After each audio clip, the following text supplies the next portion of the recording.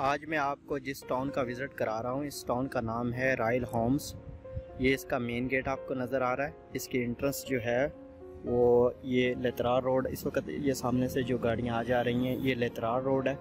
सामने इसके जो है, वो इडन लाइफ हाउसिंग सोसाइटी है।